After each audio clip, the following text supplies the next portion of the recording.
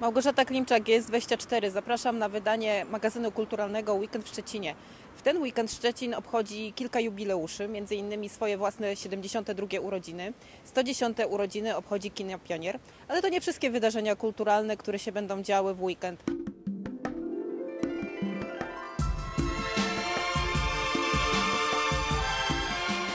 Kino Pionier obchodzi swoje 110 urodziny.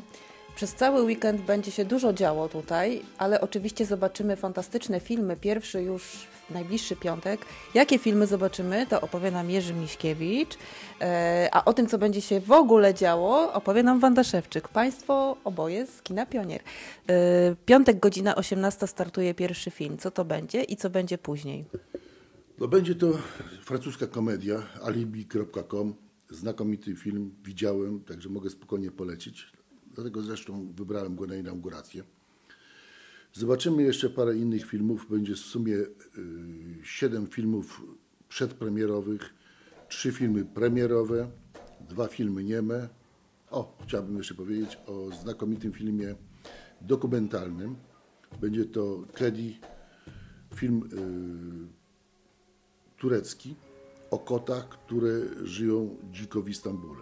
Filmów naprawdę zobaczymy dużo. Zobaczymy te dwa filmy y, z Taperem. Taperka jest genialna, także specjalnie przyjeżdża z Francji na nasz y, jubileusz. Zobaczymy, obejrzymy i będzie fajnie. E, Specjalna cena biletów jest przygotowana na najbliższy weekend. Ile będą kosztować? No bilety są, y, cena jest zupełnie obniżona. Jest po 11 zł, czyli od 110, tak 11 kojarzy się na filmy dla dorosłych, a na filmy dla dzieci jest też jedna cena, 110, ale 110 groszy. I preferujemy jednak te złote pieniążki po groszu, po dwa. Będziemy mieli duży karton, żeby to wszystko zbierać, te pieniądze. Ale jubileusz to nie tylko ten najbliższy weekend, ale także wydarzenia, które będą trwały aż do października. Co się będzie działo? Będą filmy specjalnie pokazywane na taśmie 35 mm. Będą również filmy z taperem. Będą specjalne seanse dla trzech pokoleń, ponieważ y, dziadkowie, babcie wychowały się, wychowali się w tym kinie. To znane było z bajek. Także zapraszam. Jesteśmy teraz e, w sali tej mniejszej, tej takiej kameralnej. Tutaj będzie wyjątkowe spotkanie y, i specjalni goście. Kto przyjedzie? Może zacznijmy najpierw od tego, jak wyjątkowa jest ta sala, bo tą salę panowie stworzyli na, jako y, taką, taki początek naszego kina, gdzie pan Otto Blauert właśnie w górnej sali podobno prowadził kawiarnię i y, tam wprowadzał właśnie kinematograf, pokazując swoim widzom filmy. Stąd pomysł tej sali i, i stąd klimat tej sali jest całkiem inny. Inność, inność tego miejsca sprawia y, również to, że projektor terkocze nad głową widza. I to jest, to jest takie powiązanie tych dwóch rzeczy, skojarzenia z tym pierwszym tyrkotem tych bardzo głośnych projektorów, które działały na salach. Zaproszonych gości jest około 40 właśnie tych byłych pracowników, tych e, pracowników pierwszych e, tutaj, no i tych gości takich z widzów, e, na których, no, znaczy na wszystkich nam bardzo, bardzo zależy, ale myślę, że ten, kto będzie miał ochotę i będzie dysponował czasem, z przyjemnością tutaj zejdzie po to, żeby, żeby zdmuchnąć świeczki na wspólnym torcie i, i porozmawiać, wymienić y, swoje spostrzeżenia.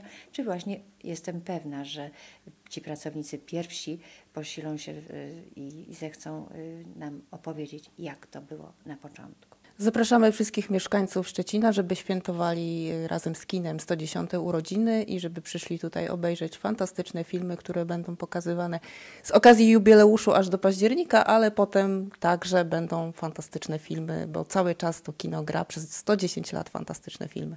Nie bądź taki szybki pił Trzymaj się przez kilka Już najbliższy weekend, drugi zjazd Młodych Gwiazd. Pierwszy okazał się sukcesem, stąd chyba myślę, że kontynuacja i to już będzie tradycja szczecińska. E, O tym, co w tym roku usłyszymy, opowie Rafał Podraza, dyrektor artystyczny festiwalu. No dużo się dzieje faktycznie w ciągu roku. Nasi laureaci, nie uczestnicy, nie laureaci, ale uczestnicy nagry, ponagrywali płyty, po, wystąpili w telewizjach, cudownie widy. I faktycznie zainteresowanie zjazdem Młodych Gwiazd w tym roku jest, było ogromne. Stąd trudno było wybra- wybrać tą dziesiątkę, ale wybraliśmy chyba najlepszych z, naj, najlepszych z najlepszych. E, Co będzie w tym roku? No w tym roku świętujemy Irenę Jarocką, piąta rocznica śmierci Ireny Jarockiej. E, motyl polskiej piosenki, więc chcemy ją pokazać w Szczecinie, tym bardziej, że e, była dość częstym gościem Radia Szczecińskiego i w ogóle Szczecina, więc trzeba ją pokazać i przypomnieć ludziom. A wiem, że kochają ją wszyscy, więc czemu nie? E, Więc y, 10 piosenek z repertuaru Ireny Jarockiej to w sobotę, czyli w telewizji i na koncercie galowym w niedzielę. Zaś piątek zapraszam wszystkich na spotkanie autorskie z Marielą Pryzwan, która napisała książkę o Irenie Jarockiej. To spotkanie w radiu poprowadzi Maria Szabłowska, wstęp wolny, gościem honorowym będzie Michał Sobolewski, mąż Ireny Jarockiej. E, Na festiwal przyjeżdża mnóstwo młodych ludzi. Co takiego sprawia, że ci ludzie interesują się tymi starszymi wykonawcami sprzed lat, z pokolenia, którego słuchało pokolenia ich rodziców? No chyba to, że te teksty miały muzykę i tekst. I zauważam, że młodzi zaczynają poszukiwać czegoś innego niż tylko rytmu albo mm, głupawego tekstu. Stąd y, wracają do korzeni, czyli nagle odkrywają Majdaniec, jak rok temu, Kasię Sobczyk, a, a teraz odkryli e, Irenę Jarocką, nagle są zszokowani, że to są takie dobre i ciekawe teksty i fajne piosenki.